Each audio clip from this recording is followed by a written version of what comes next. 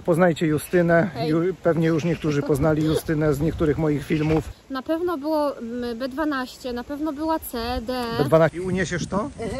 To nie wiem, czy możemy to powiedzieć, po jakim olejku.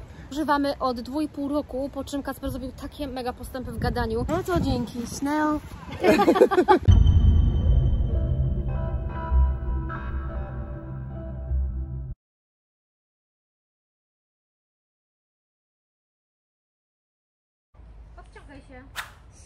Ale jest moving. Podciągaj się. Nie, patrz! Aha, rusza się to? A no to się nie da. Ty na tym drugim spróbuj. Witam Was serdecznie ponownie w następnym filmie. Dzisiaj, e, dzisiaj udało mi się namówić moją żonę, aby wspólnie ze mną wystąpiła. E, Chcieliśmy właśnie powiedzieć parę słów na temat suplementacji, generalnie leczenia, jakie stosowaliśmy e, w związku z Kacperkiem. E, Chciałbym też powiedzieć, że no jak zauważyliście, ten vlog nie jest typowo o autyzmie, tylko jest to nasz daily vlog, nasz, nasz osobisty vlog opowiadający o życiu w Szkocji, opowiadający o naszych podróżach, no ale też opowiadający o naszym autystycznym synie. Także gdzieś tam w tle zawsze Kacperek będzie się pojawiał i zawsze gdzieś tam będziemy e, wspominać. Także zapraszam serdecznie i, i, ten właśnie dzisiejszy vlog chcieliśmy zrobić takim vlogiem podsumowującym. Chcieliśmy Wam dokładnie powiedzieć, ponieważ pisaliście do nas, komentowaliście, e, co oczywiście bardzo nas cieszy i za co bardzo dziękujemy.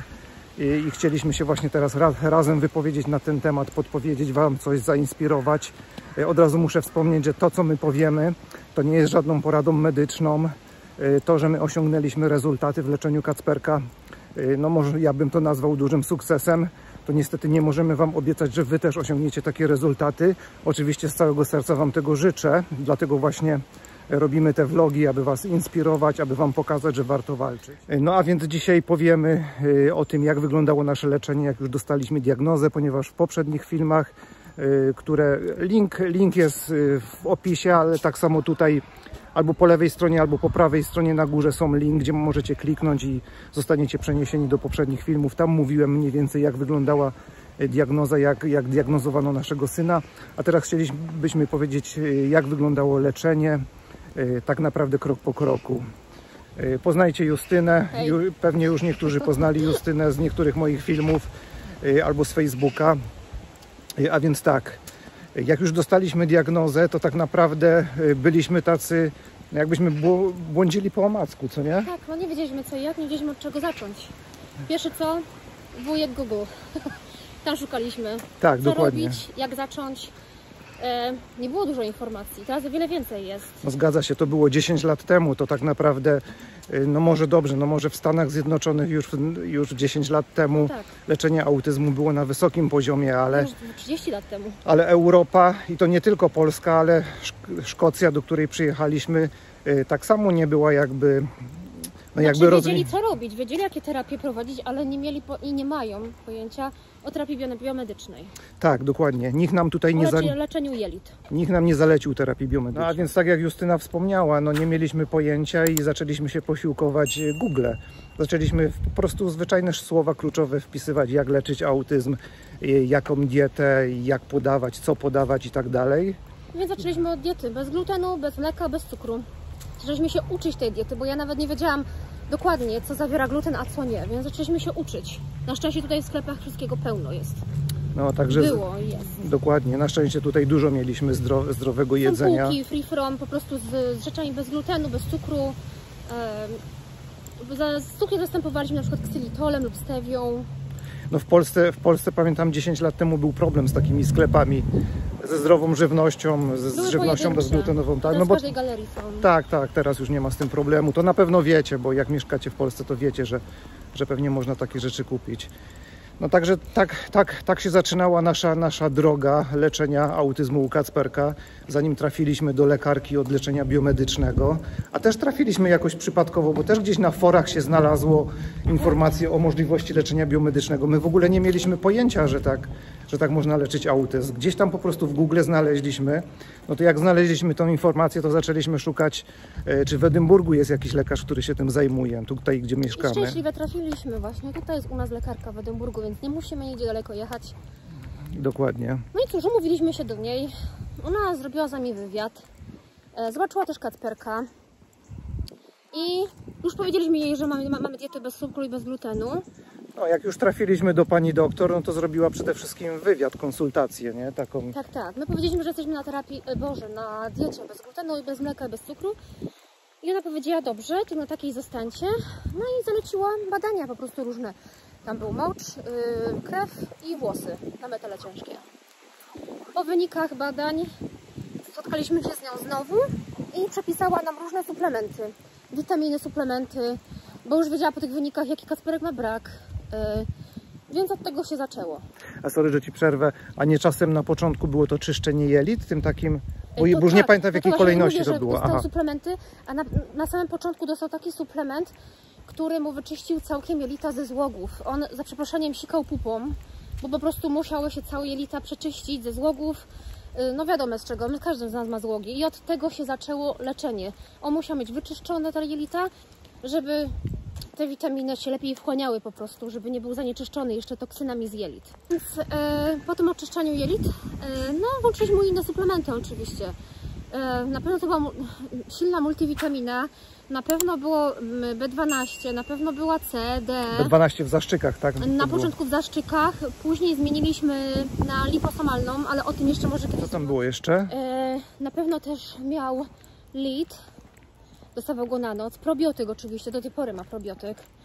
E, Licz, jeszcze- licz to generalnie było no, chyba na uspokojenie systemu nerwowego, na lepszy sen, nie? No ale Coś, coś czasem, bo to takiego. na No. noc dostawał, e, bo Kacperek miał bezdech senny.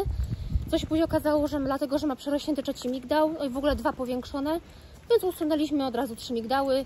I to nieprawda, że dziecko choruje, jak nie ma migdałów, wręcz przeciwnie, Kacper w ogóle nie ma katarów nawet. Nie pamiętam kiedy System Kacper miał. ma super i w ogóle to nam nie zaszkodziło. E, Co tam jeszcze dostawał? Wiem, że jeszcze dostawał taki Neurobiologics. On miał w sobie, dużo niacyny, B3, witaminy. On był na odnowienie połączeń mózgowych i jeszcze dostawał jako powiedzmy kulik doświadczalny spray do nosa, który się wchłaniał przez śluzówkę i też na połączenia, na prawidłowe połączenia mózgowe.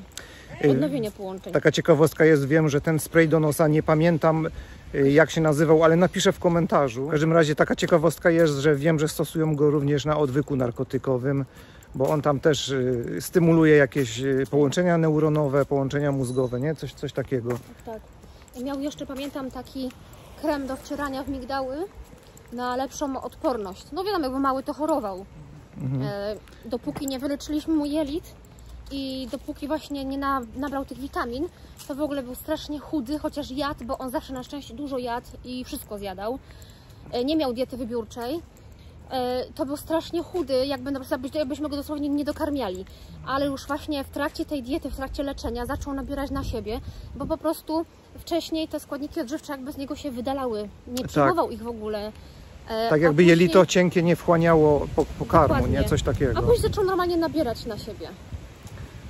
Przepraszamy w ogóle za jakość nagrania, bo nie wzięliśmy mikrofonu zewnętrznego, a tu od czasu do czasu wiatr powiewa, także ja się post... wy już oglądacie ten film, to mam nadzieję, że udało mi się jakby te szumy wyciszyć. Ja jeszcze raz chciałem wspomnieć, bo na YouTubie musi być wszystko jakby oczywiście powiedziane. E, To, że my stosowaliśmy takie rzeczy, to nie jest z naszej strony porada medyczna. E, My po prostu opowiadamy naszą historię, e, jak, że tak powiem, pracowaliśmy no, w kierunku wyleczenia Kacperka. Także no, proszę nie bierzcie tego za poradę medyczną. E, Co tam było jeszcze? Wiem, że jeszcze olejek z oregano dawaliśmy. Tak, tak, olejek z oregano. E, Też olejek z oregano jest dobry na zabicie kandidy, na rozrost kandidy. No właśnie przede wszystkim na Candidę. To też, to też wzięliśmy z polecenia e, osób, które już to stosowały, ale oczywiście my wszystko też, chciałbym tu wspomnieć, my wszystko konsultowaliśmy z lekarzem rodzinnym i także to też nie było, nie było takie, bo nam się tak wydaje. To było po konsultacji wszystko z lekarzem rodzinnym. Żaden lekarz nie widział jakby przeciwwskazań e, w kierunku tego, że my stosujemy to i owo. E, Co prawda żaden lekarz nam też nie powiedział, że to jest, że to leczy autyzm, że to przyniesie jakieś super efekty. Natomiast no, wizyta u lekarza rodzinnego miała tylko za zadanie jakby upewnić się, że to co podajemy jest bezpieczne dla naszego dziecka. No i co? I lata mijały, cały czas to samo, stosowaliśmy, stosowaliśmy, byliśmy cierpliwi, bo pół roku czasami nie wystarczy, czasami rok nie wystarczy, żeby widzieć efekty. E, Po jakim czasie my zaczęły, zauważyliśmy pierwsze efekty? No ja myślę, że po dwóch latach gdzieś e, Jakoś takie, takie tak. po dwóch latach takie zdecydowane efekty jakieś były, nie? Takie pojedyncze, bo to są bardzo małe, czasami ledwo zauważalne, e, ale cały czas był progres, nie było nigdy regresu. E, Cały czas są, były jakieś zauważane malutkie postępy, bo to jest wieloletnie leczenie. To jest naprawdę wieloletnie, cierpliwe leczenie i systematyczne dawanie tych właśnie suplementów to jest bardzo ważne. Zresztą zawsze suplementy trzeba system- systematycznie. My też bierzemy suplementy bardzo systematycznie. A pamiętasz, kiedy Kacperek przestał sikać w majtki, kiedy pieluchę pierwszy raz ściągnął? Bo Pierwszy raz, wiesz, my mu ściągaliśmy, żeby go nauczyć. Pamiętasz? Chodził y, golasek po mieszkaniu, czasami Mhm. gdzieś tam nasikał, wiadomo. I w samochodzie, jak na przykład jechaliśmy gdzieś, chciało mu się siku, to ja mu po prostu podkładałam pieluchę tylko tak, wiecie, w ręce, tak o, żeby nasikał, ale tak miał majtki. E, ale ja pamiętam pewnego razu, oczywiście jak mu się chciało sikać, bo widzieliśmy, czasami tam chodził z nogi na nogę, czy się tam przytrzymał, czy coś, to braliśmy go do, do łazienki, pokazywaliśmy jak to robić. Ja pamiętam w pewnym momencie myję głowę nad wanną, a on nagle przychodzi i sam z siebie sika. Ile on miał- przełom, ja byłam Tak. w szoku. Ile on miał? 7 lat? Czy Sześć. 6 lat miał. Sześć No. lat miał. no właśnie, także no widzicie Oczywiście jak z to... kupą jest trochę gorzej. No tak, y, kupę ja tu wspominałem w jednym filmie, No. że nie pamiętam dokładnie, ale wydaje mi się, że gdzieś, gdzieś w okolicach 9-10 roku życia przestał brudzić majtki, tak? Czy Tak. coś takiego. No to sami, sami rozumiecie, że to, co my opowiadamy, to nie jest jakaś.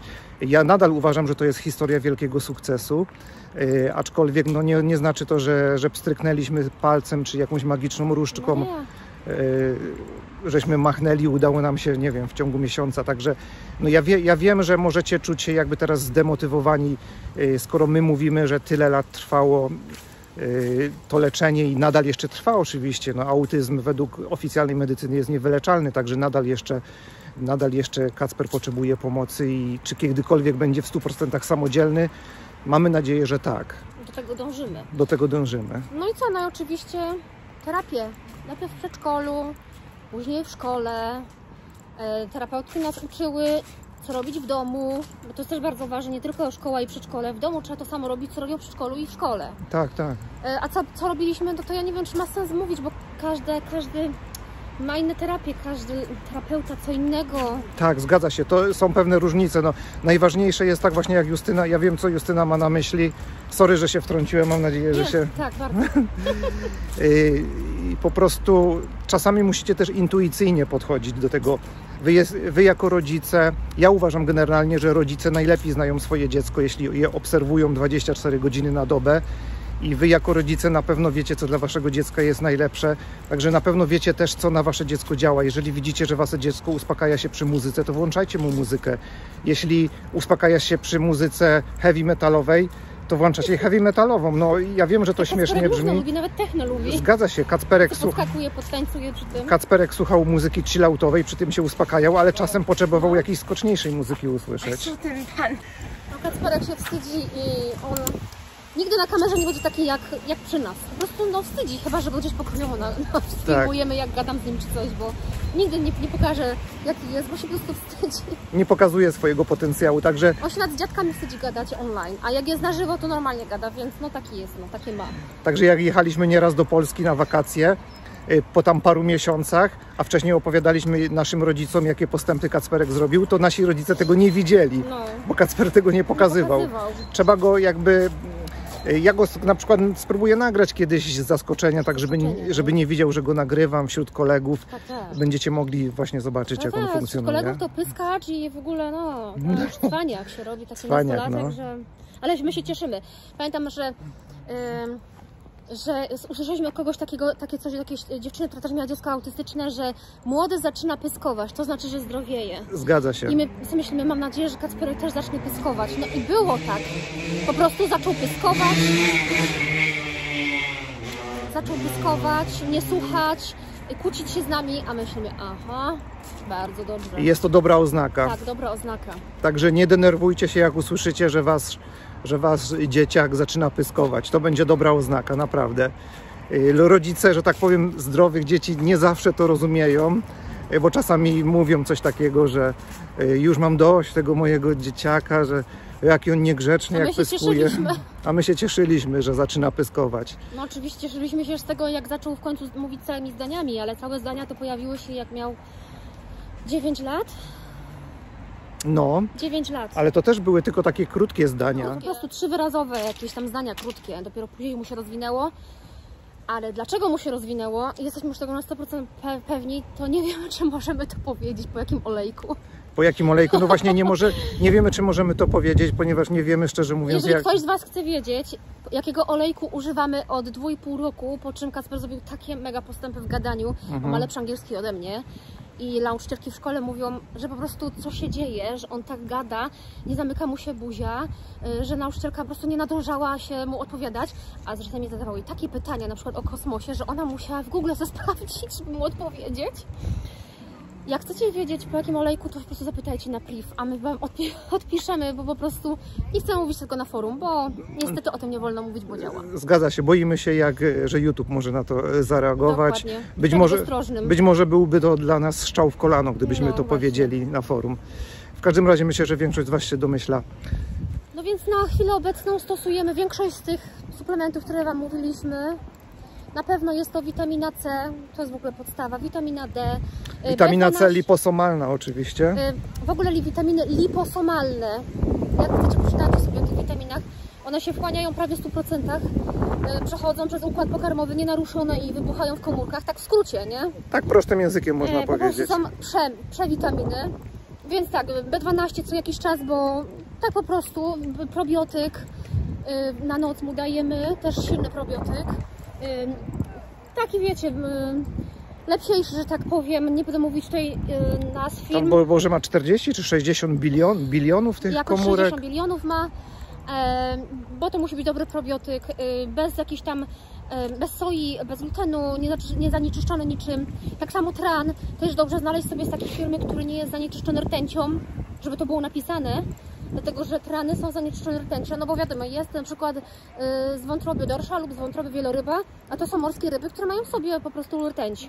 Tak. Y, więc trzeba za- znaleźć taki. No i co jeszcze Kasperkowi dajemy? A co do tej No witam- i ten olejek, oczywiście, którym nie możemy powiedzieć. A co do witamin liposomalnych, to y, odsyłam Was nawet do Google. No, może, możecie na Google, wpiszecie witaminy liposomalne. Najlepiej by było wpisać to po angielsku, ponieważ jest więcej jakby badań, więcej dostępnych Ale jest. po polsku też jest Po dużo. polsku też. Y, To poczytacie sobie jak działa, y, jak to wszystko wygląda. Chodzi po prostu o to, że klasyczne witaminy wchłaniają się w pięciu, czasami nawet mniej procentach, Tak. przez to, że przechodzą przez układ trawienny i po prostu następują duże straty wchłanialności. Liposomalna witamina dopiero wypuszcza całą swoją moc w komórkach, więc y, no to nie jest moja opinia, ja nie jestem ekspertem, ale to jest opinia wielu naukowców, o których możecie poczytać w Google, także zachęcam. No Co chci- to na tyle, jeżeli chcecie mieć jakieś pytania, chcecie wiedzieć coś więcej, może nawet firmy konkretne, y, możecie pisać na priv, ja mogę Wam wysłać Tak, linki, ale to też dobrze byście zapytali po prostu swoich lekarzy, najpierw szli do lekarza i on Wam rozpisał całą tą dietę czy suplementację, y, no bo my nie jesteśmy lekarzami, tak? tak. No, no dokładnie, generalnie może moglibyśmy mówić o tym całymi godzinami, ale to nie ma sensu nagrać nie wiadomo jak długiego filmu, bo też rozumiemy, że nie macie czasu długich filmów do oglądania. Tak jak Justyna mówiła, y, tak jak Justyna mówiła, jeżeli macie, macie ochotę coś więcej się dowiedzieć, skontaktować się z nami, to link do naszej grupy facebookowej i do naszej strony facebookowej będzie w komentarzu. Możecie również tutaj w komentarzu na YouTube napisać. Oczywiście też zachęcamy Was do udostępniania tego filmu, lajkowania, komentowania, żeby ten film się rozchodził bardziej, żeby dotarło to do więcej osób potrzebujących, bo wiem, że autyzm to jest niemalże teraz plaga, także zależy nam na tym, żeby pomóc jak największej ilości osób. Y, Dziękuję Wam bardzo za wysłuchanie tego filmu y, i zapraszam na następny film. Prosimy o subskrypcję i tego dzwoneczka czarnego, tego wyżej, to same pisane wszystkie, żebyście dostawali informacje na, o nowych filmikach. Tak, Kacperek, a Ty też y, poproś o subskrypcję. No to dzięki, Snell. Lubisz ślimaki. Ale nie jeść. Nie.